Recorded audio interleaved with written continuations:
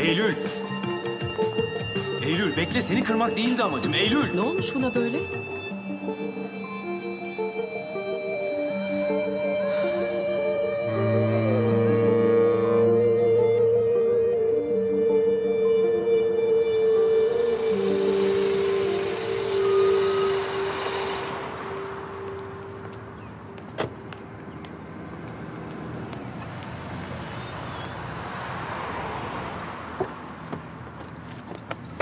Eylül.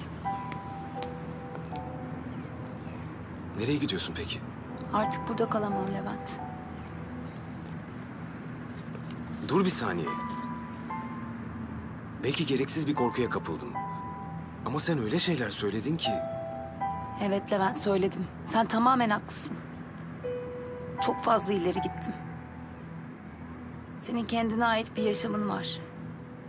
Kendi sorunların var zaten. Bir de ben kendi meselelerimle seni iyice boğdum. Canım sen sadece yardım etmek istemiştin.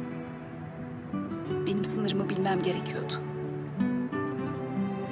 Bir yerde durmalıydım. Bu yüzden sana kırgın ya da kızgın değilim. İçin rahat olsun.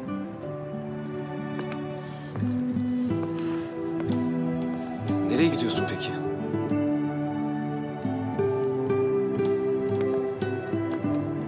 Daha fazla sana yük olmak istemiyorum.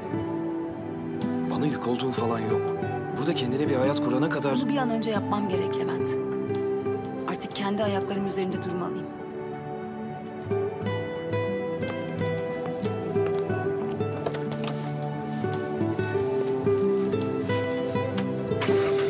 Gidelim lütfen.